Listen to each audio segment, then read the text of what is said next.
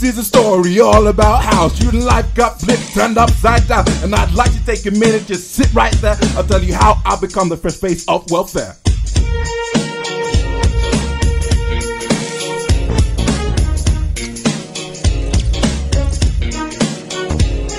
For stressed out students, feeling dazed at the SU, waiting on the monthly puppy days. Sitting out max and relaxing all cool in the chill out zones right next to your school.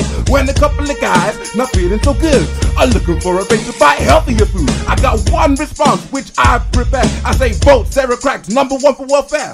Sexual health check within society. The dropping clinics are a priority. You'll be safer and you're gonna be clean with the fresher coffee condoms in the machines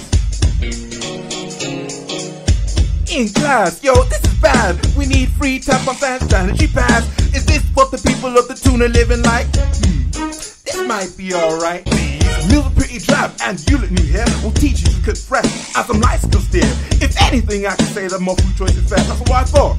But Craggs for welfare.